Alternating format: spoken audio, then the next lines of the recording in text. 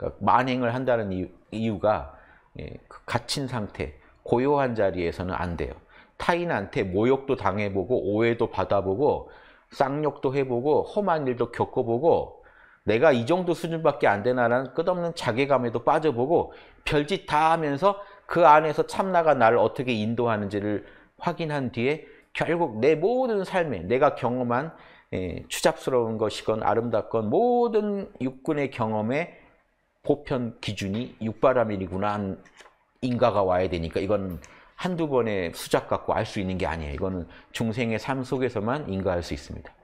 그래서 산공부, 아공, 법공은 산공부가 가능한데 구공은 인간 사회에서 인간 공부를 해야 된다. 인간 사회 속에서 공부해야 된다.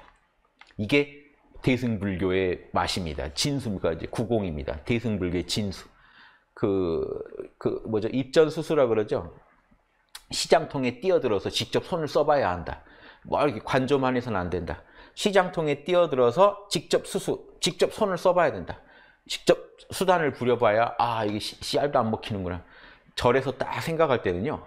아 욕심을 비워 욕심만 비우면 돼 하고 시장통 딱 갔더니 눈이 막 돌아가가지고 정신을 못 차리죠 본인이. 아 이거 졸라 어렵구나. 이게 만행을 통해 깨달아야 되고 그 모든 걸 극복하고 거기서 핀 그러니까 여러분 험한 일, 막 추잡스러운 일, 자괴감 드는 일 다 겪으셔야 됩니다. 그걸 모두 겪고 그 진흙탕이에요. 그래서 진흙탕에서 연꽃 핀다고 하는 거예요. 그런 걸 겪고 그 겪은 속에서 근데 자 어떻게 겪어야 되냐? 일반인은 일반인은 그냥 정신 놓고 겪어요. 이 아공 복공까지 깨달은 도인은 아공 복공의 진리를 가지고 버티면서 겪을 거 아니에요. 그러다 보면요. 구공이 알아져요. 그러다 보면 그러니까 즉 참나의 현존 안에서 자성에 직관하면서 진리를 직관하면서 뭔가 진리에 대한 느낌 가지면서 구르다 보니까 뭔가 다른 분석이 나오는 거예요. 그 다른 분석이 육바라밀이에요. 그게 지금 이게 생략돼 있습니다. 저 요 첫 번째 아 육바라밀이 내 우주 내 마음에서는 최고 참, 진리 기준이고 선악의 기준이요 자찜 기준이구나 요 말 하기까지 여러분이 얼마나 진흙탕에서 구르셔야 되는지 몰라요. 요게 생략돼 있어요. 그래서 원래 대승불교에서도 아공, 복공까지 깨닫는 거는 1만 겁 정도 수행이면 되는데 요 구공의 진리 깨달아서 일지보살 들어가는 거는 무량겁 잡습니다. 그러니까 어마어마한 기간을 잡아놓는 이유가 많이 굴러봐라 이거예요. 많이 닦아봐라.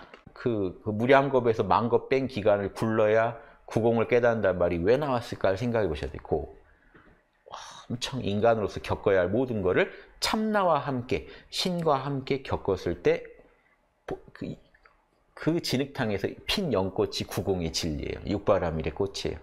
얼마나 아름답겠어요. 사람들은 그 진흙에 진흙 묻은 추잡한 것만 봐요. 그 추잡한 것 속에 뛰어들었기 때문에 그 육바라밀의 연꽃을 피웠다는 거 몰라요. 대승불교는요. 아직 지구가 지구의 인류들이 이해하기 힘듭니다. 아공 복공은요 웬만큼 알아요. 도인 도인들도 알고 중생들도 음, 수행이라는 거는 그렇지 무상함을 어, 세상은 무상한 거지 무상함을 아는 거지 일체가 유심조 마음에 달린 거지 막 이런 말을 하는데 흔히 그냥 선업을 쌓아 이렇게 하는데 뭐가 선이고 뭐가 악인지 구분한다는 건요 어려운 겁니다. 구공의 진리까지 깨달으셔야 사실은 알아요. 근데 아주 모르느냐? 그런데 그건 아니에요. 일반인도 알아요. 일반인도 감각은 있어요. 이 감각을 꺼내가지고 연꽃으로 피우려면 또 엄청난 그 공덕이 쌓여야 돼요. 그때 핍니다. 그래서 보살들이요, 중생들의 꽃이에요. 보살 하나가 피, 보살꽃 하나가 피려면요, 얼마나 많은 그 이런 사막 육바라밀의 닦음과 중생 세계, 사바 세계에서의 그런 육도를 구르는 그 윤회가 있었을까요? 눈물 나는 작업입니다. 연꽃 하나 피운다는 게 눈물 나는 작업이에요. 그러니까 우주가 하는 게요. 우주가 인간을 인간 농사하는 거죠. 인간을 배양하는데 농사 성공을 알리는 겁니다. 꽃 하나 피웠다는 건 농사 성공했다.